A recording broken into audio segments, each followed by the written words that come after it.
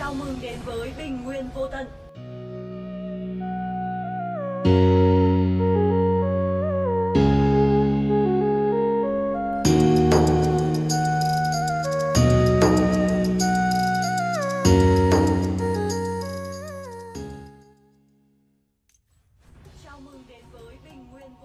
Xin chào tất cả, các anh em đã quay trở lại với channel của mình nhá. Thì mình là NTG Liên Quân đây.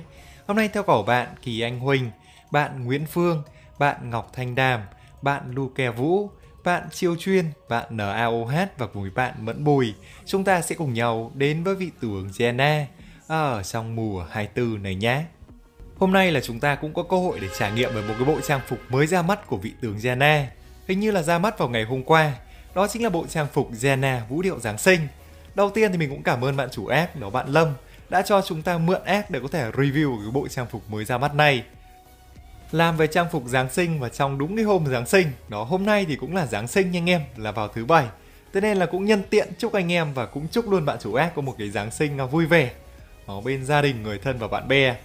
Và quay trở lại với cái vị tướng Gianna trong clip ngày hôm nay của mình. Đó, không biết anh em cảm thấy vị tướng Gianna dạo này thế nào? Chứ dạo trước nhá, mình có làm clip cho anh em. Nhưng mà mình cảm thấy Gianna ngày xưa thì nó có vẻ là hơi yếu gọi là ngày xưa thì chắc cách đây cũng phải tầm 1 đến 2 mùa thôi, chưa lâu.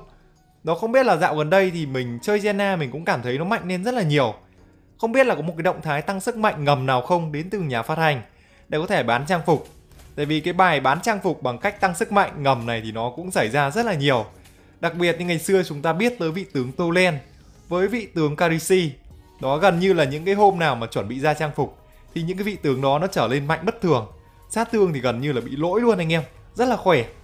Nói đâu xa thì ngay trong trận trước của mình mình cũng có một cái pha combo với vị tướng Jenna mới chỉ là combo chiêu 1 chiêu 2 và bật chiêu cuối thôi, chưa combo nhiều, nhưng có thể hạ gục được một vị tướng là vị tướng Volcat lên dìu Leviathan có 9k máu.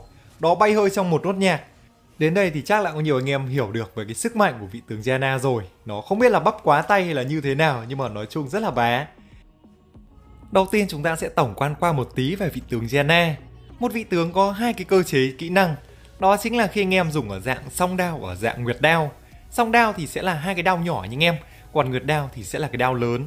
Ở dạng đao nhỏ chúng ta sẽ có một cái bộ kỹ năng mới Và ở dạng đao lớn nguyệt đao chúng ta cũng có một cái bộ kỹ năng mới. Đầu tiên chúng ta đến với dạng đao nhỏ, đó chính là chiêu một Toái Nguyệt Trảm. Chiêu thức này thì có một cơ chế rất là hay. Anh em nhìn thì tưởng chừng là cái chiêu một nó lướt ngắn, nhưng thực tế cái chiêu một này nó là một cái chiêu thức lướt siêu dài, thậm chí là dài hơn Nakrot rất là nhiều. Mỗi khi à, chúng ta dùng chiêu xong thì Jenna sẽ được lướt lên một đoạn. Đó pha này thì mình cũng sẽ combo nhẹ nhẹ cho anh em. nó rất là thốn. Mặc dù là Wiro pha đấy thì cũng có khoảng 70% máu, nhưng sau khi ăn xong một combo thì cũng chỉ biết là ôm trụ. Rỉa à, xong một tí ở đường mid rồi chúng ta sẽ quay lại đường top. Trong cái pha vừa rồi thì anh em cũng để ý nha là mình dùng cái chiêu một con quái rừng, sau đó chúng ta lại có thêm một lần lướt nữa. Có nghĩa là hai lần lướt và jenna lướt sẽ rất là nhanh. Đảo từ đường mid lên đường rồng này, à đâu đường kinh công. Chắc đâu đó cũng chỉ tầm khoảng 5 giây thôi. Thế nên là theo cá nhân mình chúng ta trong quá trình đi đảo ganh ý, anh em muốn tăng tốc độ thì ngoài cái việc anh em giữ nốt di chuyển, chúng ta cũng nên dùng cái chiêu một vào những con quái rừng hoặc là quái ven đường. Còn ở đây thì khá là đông nhỉ, thêm cái tốc biến nhưng đã một cái pha giật bóng khá là kịp thời từ vị tướng Elandor. Và Elandor thì như là chưa biến về. Đó, ăn một mạng Elandor cũng tương đối là dễ dàng. Và tiếp tục là tướng huyết trả của Hero. Anh bạn này thì vẫn còn một cái lần hồi sinh. Chắc là mình dồn sát thương sẽ là đủ thôi anh em. Nó đánh thường vài cái và chúng ta sẽ có một cái pha double kill ngay từ giai đoạn đầu trận. Anh em để ý là mỗi khi mình biến hình nhá, từ cái dạng uh, song đao sang dạng nguyệt đao, chúng ta một cái thanh đỏ đỏ trên đầu. Đó cái thanh đỏ đỏ này thì cũng tương đối là quan trọng nếu anh em ở dạng uh, nguyệt đao đó chính là đao to chúng ta sẽ tăng công vật lý. Còn nếu anh em biến từ dạng đao to sang dạng đao nhỏ, cái thanh đỏ đỏ này sẽ giúp chúng ta tăng tốc đánh trong một khoảng thời gian ngắn. Gọi là ngắn thôi nhưng mà chắc cũng phải tầm khoảng 5 đến 6 giây với vị tướng Jenna. Tiếp tục đến với cái chiêu 2 của vị tướng Jenna ở dạng song đao đó chính là đao nhỏ. Chúng ta lướt cái chiêu 2 lên hay chính xác là ném chiêu 2 lên sẽ gây làm chậm cho tướng địch, giúp cho Jenna tích được những ấn nội tại và đặc biệt là khi anh em đi vào cái chiêu 2 đấy, Jenna cũng sẽ được giảm thời gian hồi chiều của chiêu 2 đi khoảng 80%. Có thể giúp cho anh em hồi chiêu 2 nhanh hơn và giúp tạo cho những cái combo đặc biệt là combo bát nguyệt trảm. Một combo có thể giúp cho chúng ta đẩy được 8 lần chiêu 2 ở dạng đau to, có nghĩa là liên tục 8 nhịp đẩy cho tướng địch. Anh em nào mà không lên cái giày kiên cường mà chẳng may bị Janna đẩy thì gần như sẽ là toàn 100%, rất là khó để có thể chạy. Đó và cuối cùng cái combo ờ, lúc nãy chúng ta đã nói đầu nhỉ, combo chiêu 1 chiêu 2. Đó tổng quan qua thì cái combo ở cái dạng uh, song đao ấy thì nó rất là đơn giản thôi. Khi anh em thấy tướng địch, anh em ném chiêu hai người tướng địch. Đó sau đó anh em lướt chiêu một lên hai lần, lướt càng nhiều càng tốt để làm sao kích hoạt được cái nội tại và sau đó nổ gây sát thương thì đó sẽ là một cái combo chuẩn chỉnh của anh em. Còn khi chúng ta đã có chiêu cuối rồi thì combo nó sẽ biến tấu đi một tí thôi, không khó. Chẳng qua là thêm mỗi một bước đó chính là chúng ta bật chiêu cuối xong, chúng ta bồi thêm chiêu hai vào hoặc là chiêu một. Tại vì sao ở đây mình phải dùng từ hoặc là? Bởi vì trong những trường hợp combo của anh em nhé, nếu mà tướng địch sau khi chúng ta combo xong ấy, anh em bật chiêu cuối rồi mà tướng địch đứng sát người chúng ta, đó chúng ta ngay lập tức chúng ta đẩy chiêu hai luôn thì nó sẽ gây một hiệu quả khống chế rất là tốt. Còn trong trường hợp tướng địch nó đứng xa mình quá, có nghĩa là chúng ta đẩy chiêu hai nhưng mà nó không trúng thì bắt buộc chúng ta phải dùng chiêu một gây sát thương và hất tung tướng địch. Nó thì theo cá nhân mình nó sẽ là ổn nhất. Và bây giờ chúng ta cũng sẽ lướt qua một tí về cái dạng thức của cái nguyệt đao khi chúng ta ở dạng đao to. Ở dạng đao to này thì cái chiêu một nó sẽ đổi tên từ toái nguyệt trảm sang tụ nguyệt trảm. Tụ nguyệt trảm ở đây có nghĩa là chúng ta sẽ kích hoạt chiêu. Diana sẽ tích ấn hay chính xác là vận công. Đó trong khoảng 3 giây và sau đó gây sát thương.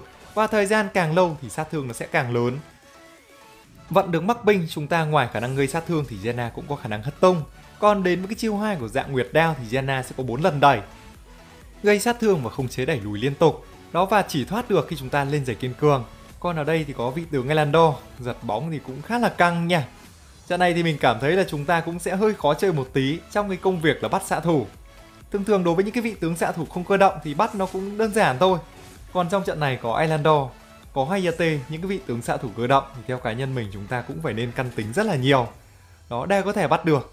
Thế còn thường thường nếu mà chúng ta chỉ lao vào bắt đơn thuần ấy thì rất là dễ là bị ờ, những cái vị tướng đó thả diều và sau đó dẫn tới cái tình trạng là bị outplay. Quay trở lại với combo vừa rồi, đó chính là combo bát nguyệt trả. Vậy thì làm sao chúng ta có thể sử dụng được combo này? Lưu ý nha, dùng combo ờ, thường thường thì mình bảo là anh em dùng chiêu hai trước ném vào người tướng địch, sau đó dùng chiêu một áp sát. Nhưng để có thể thực hiện được combo bát nguyệt trả thì chúng ta đừng ném chiêu hai người tướng địch trước, mà chúng ta lao chiêu một trước. Đó và sau đó ném chiêu hai, đổi dạng và tiếp tục là đẩy chiêu hai. Có nghĩa là ở đây thì nó sẽ ngược lại với cái dạng combo chuẩn một tí. Đó chính là ở dạng combo chuẩn thì chúng ta ném chiêu hai, sau đó lao chiêu một còn ở dạng combo bát nguyệt chảm thì chúng ta lao chiêu một xong chúng ta mới ném chiêu hai đó đơn giản là như vậy sau khi chúng ta đổi dạng chúng ta lại tứ nguyệt chảm nhưng tứ nguyệt chảm chúng ta sẽ đẩy tướng địch. Vào cái chỗ mà cái chiêu một của chúng ta ở dạng song đao ấy, nó đang xoay. Thì khi đẩy được vào xong, cái chiêu hai anh em lại được hồi và chúng ta lại có thêm bốn nhịp đẩy nữa. Thì đó chính là cái combo chuẩn chỉnh cho cái việc chúng ta sử dụng bát nguyệt chảm nếu mà anh em vẫn cảm thấy khó hiểu thì có gì tí nữa mình cũng sẽ làm một cái video ngắn. Mình sẽ để đường link dưới cái video này nha anh em. Nó hướng dẫn làm cách ờ, bát nguyệt trảm dễ nhất. Đó, nhưng mà không biết là trong trận này thì có cơ hội làm được hay không?